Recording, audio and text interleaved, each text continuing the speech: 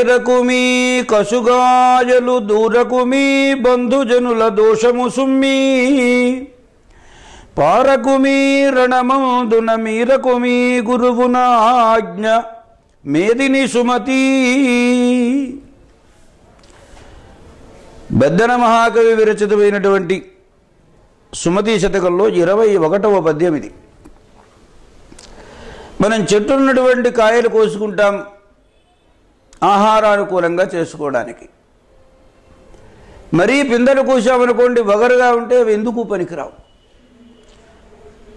కొన్ని కాయలుగా ఉపయోగించుకోదగినవి కొన్ని పండ్లుగా ఉపయోగించుకోదగినవి ఉంటాయి చెట్టు కాసినటువంటివి.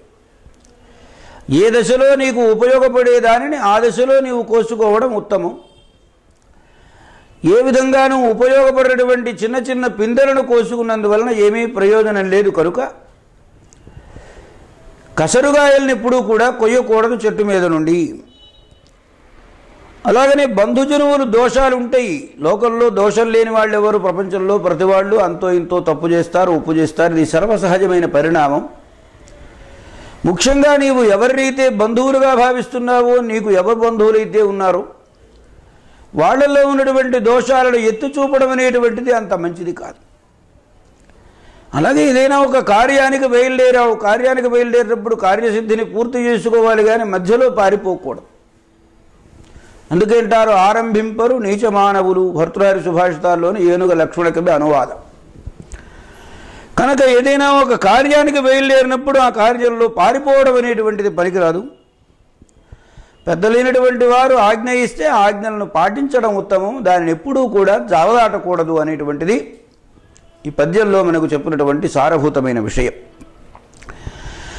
ఏ మీ కసుగాయలు దూరకుమీ బంధుజనుల దోషము సుమ్మి పారకుమీ రణమందున మీరకుమీ గురువుల ఆజ్ఞమేదిని సుమతి నీనామము భవహరణము నీనామము సర్వసూక్ష నివహకరంబు. నీ నామమృతపూర్ణము నీ నామము నేదలంతు నిత్యము కృష్ణ. భక్తి స్ఫోరకములైనటువంటి శతకాలలో కృష్ణ శతకం మూర్ధన్యమైనటువంటిది. చాలా చిన్న చిన్న పదాలలో అనంత గంభీరమైనటువంటి భావాన్ని మన నిత్య కృత్యాన్ని కూడా బోధ చేసేటువంటి భావతరంగిణి. నీ నామము భవఘరణము ఈ నామము అంటే కృష్ణ నీ యొక్క పేరు. మాధవాను కేశవాను వాసుదేవాను ఏ పేరైనా బల భగవంతుడిదేగా.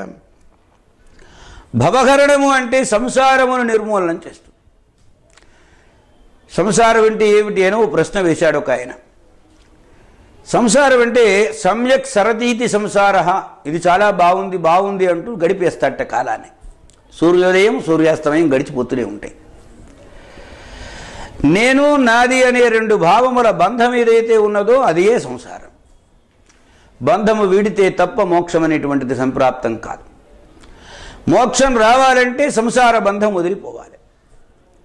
కనుక కృష్ణ నీ నామము సంసార సముద్రాన్ని దాటించేటువంటిది సంసారం అనేటువంటి దాన్ని నిర్మూలనం చేసి మోక్షప్రాప్తిని కలగజేస్తుంది.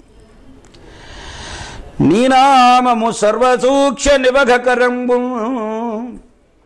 నీ నామాన్ని అనుకుంటూ ఉంటే సమస్తములైన సౌఖ్యములు కూడా సంప్రాప్తమవుతాయి నీ నామం అమృతపూర్ణము. నీ నామం ఉంది అది అమృతంతో నిండినటువంటిది. అమృతము ఈజ్ ఈక్వల్ టు భగవన్నామము భగవన్నామము ఈజ్ ఈక్వల్ టు అమృతము అన్నమాట. అమృతంతో నిండి ఉన్నటువంటిది నీ నామం. కనుక కృష్ణ నిరంతరము నీ నామాన్ని తలుచుకుంటూ ఉంటానయ్యా. నీనామము భవహరణము. నీనామము సర్వసూక్ష నివఘకరంబు నీనామమృతపూర్ణము నీనామము పూర్ణము నీదనంతు నిత్యము కృష్ణ. అల్పబుద్ధివానికధికారమిచ్చిన దొడ్డవారి నెల్లదొలగజేయు చెప్పుదినడి కుక్క చెరుకు తీపెరుగున విశ్వదాభిరామ వినురవేమా. తెలుగు చదువుకున్న ప్రతి వాళ్ళకు నోట పట్టించినటువంటి పద్యం ఈ పద్యం. అందరికీ నోటికొచ్చిన పద్యం ఇది. అల్పబుద్ధివాడు అంటే తేలికైనటువంటి బుద్ధివాడు చాలా స్వల్పమైన బుద్ధి. అంటే ఒక ధర్మాధర్మ వినిశ్చయం చేసుకోలేనటువంటి వాడు అని అర్థం. వాడిని తీసుకెళ్ళి అందరం ఎక్కించావు అధికార పీఠం మీద కూర్చోబెట్టాం అనుకోండి. గొప్పవాళ్ళు ఎవరైతే ఉన్నారో వాళ్ళని అడ్డం తొలగించేస్తాడు. ఎందుకంటే గొప్పవాళ్ళు ఉంటే మంచి సలహాలు చెబుతారు ఆ మాటలు వినాల్సి వస్తుంది. వాడు నాకెవరు చెప్పడానికి? నేనే సర్వాధికారిని సర్వము తెలిసినటువంటి వాడిని నాకు తెలిసిందేమీ లేదు తెలియందేమీ లేదు. ఈ రకమైన మనస్తత్వం ఉన్నవాడు అధికారంలోకి వస్తే మంచివాళ్ళని అందరినీ కూడా పెద్ద మనస్సు కలిగిన వాళ్ళందరినీ కూడా దూరంగా తొలగిచేస్తాడు. అని దానికి ఉదాహరణ చెప్పారు వేమన గారు. చెప్పు తినడానికి అలవాటు పడిన కుక్కకి ఆ చెప్పులోనే రుచి ఉంటుంది కానీ ఆ రుచి మాత్రమే తెలుసు దానికి. చెరుకులో ఉండే తీపి ఎలా తెలుస్తుంది? ఎందుకంటే చెరుకు నవలదు కనుక దొడ్డవారి మనస్సు దొడ్డవారి మనస్సే అల్పబుద్ధివాడు అల్పబుద్ధివాడే. అల్పబుద్ధివానికి ఈ పెద్ద మనస్సు కలిగినటువంటి వాళ్ళ వ్యవహార రీతులు తెలియవు. వాళ్ళు తనకు అడ్డుపడకుండా ఉండడానికి వాళ్ళందరినీ కూడా తొలగించి వేస్తాడు. అంటే అల్పబుద్ధివాడు కుక్క రెండు సమానము అని తేల్చి చెప్పాడు వేమన గారు. అల్పబుద్ధివానికి అధికారమిచ్చిన దొడ్డవారి దొలగజేయు చెప్పు దినడి కుక్క చెరుకు తీ పెరుగునా విశ్వదాభిరామ వినురవేమా. కంటి నదీ తటంబు పొడగంటిని భద్రనగాధివాసము. కంటి నెలాతనూజను ఉరు కార్ముక మార్గణ శంఖ చక్రముల్ కంటిని మిమ్ము లక్ష్మణుని గంటి కృతార్థుడనైతినో జగత్కంటక దైత్య నిర్దలన దాశరథీ కరుణాపయోనిధి. కంచర్ల గోపన్న గారనే పేరు కలిగిన రామదాస నామంతో సుప్రసిద్ధుడైనటువంటి మహాకవి. ఆయనని భక్త కవి అంటారు. భక్త కవి అనే మాట ఎందుకనంటే ఆయన ప్రతి మాటలోనూ భక్తి తొణికిసలాడుతూ ఉంటుంది. అమృతపు సోనల్లాగా కారుతూ ఉంటుంది.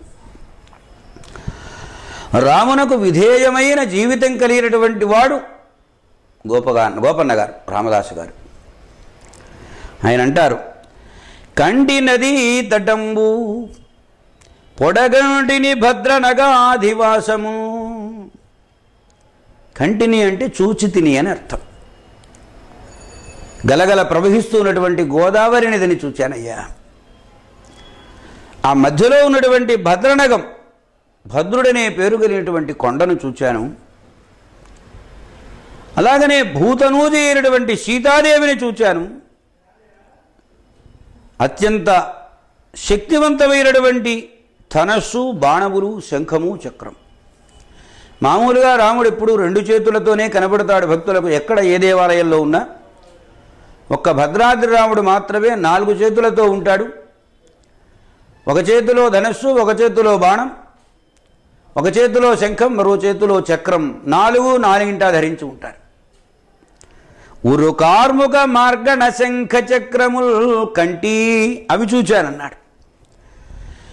కంటిని మిమ్ము లక్ష్మణుని గంటి మిమ్మల్ని చూశాను లక్ష్మణుని కూడా చూశాను. ఇంత చూచిన తరువాత కృతార్థుడనైతిని నా జన్మ చరితార్థం కాలేదా స్వామి? దశరథనందన? కరుణానిలయ ఓ జగత్కంటక దైత్య నిర్దలన. జగత్తునకు ముల్లులాగా ఉండేటువంటి దుర్మార్గులైన రాక్షసులను. అదే భగవద్గీతలో శ్రీకృష్ణస్వామి చెప్పింది పరిత్రాణాయ సాధూనాం వినాశాయ చ దుష్కృతాం ధర్మ సంస్థాపనార్థాయ సంభవామి యుగే యుగే అన్నట్టుగా. జగత్తునకు పీడను కలిగించేటువంటి రాక్షసులను సంహరించినటువంటి ఓ అనుభవ. రామచంద్ర నేను నిజంగా చరితార్థమైన జీవితం కలిగినటువంటి వాడినైనాను సుమా. కండి నదీ తటంబు బొడగంటిని భద్ర నగాధివాసము గంటి ఇలా తనూజ. ఉరుకార్ముక మార్గణ శంఖ చక్రముల్గంటిని మిమ్ము లక్ష్మణుని గంటి కృతార్థుడనైతినో జగత్కంటక దైత్య నిర్దలన దాశరథీ కరుణాపయోనిధి. ఎడ్డ మనుష్యుడే మరుగు నిన్ని దినంబులు గుడియుడిన. దొడ్డ గుణార్చునందుగల తోరపు వర్తనలెల్ల ప్రజ్ఞ నేర్పడ్డ వివేక రీతి. రుచిపాకము నాలుకగా కెరుంగనే తెడ్డది కూరలో గలియ ద్రింబరుచుండిననైన భాస్కరాం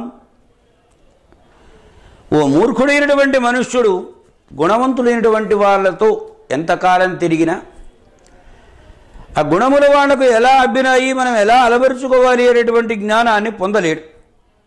ఎందుకంటే వాళ్ళు ప్రజ్ఞావంతులు కనుక ఆ ప్రజ్ఞ వలన ఏర్పడ్డవి ఈ వివేక విజ్ఞానము ఎలాగా అంటే కూర రుచి నాలుకకు తెలుస్తుంది కానీ ఆ కలయిరిపినటువంటి తెలుస్తుంది అయ్యా గరిడ రుచిని గ్రహించలేదు. కలయ తిరగడం మాత్రం తెలుసు దానికి. అంతే తప్ప నిజమైనటువంటి రుచి నాలుకకు తెలిసినట్లుగానే గుణవంతుడైనటువంటి వాడి గుణగణ సంపద వివేక విజ్ఞానములు గుణవంతుడు మాత్రమే గ్రహించగలడు గుణహీనుడైనటువంటి వాడు గ్రహించలేడు అని చెప్పడం. ఎడ్డె మనుష్యుడే మెరుగునెన్ని దినంబులు గుడియుండిన దొడ్డ గుణాక్షునందుగల తోరపు వర్తనలెల్ల ప్రజ్ఞనేర్పడ్డ వివేక రీతి రుచిపాకము నాలుకగా కెరుంగునే తెడ్డది కురలో కలయ త్రిమ్మరుచుండిననైన భాస్కరా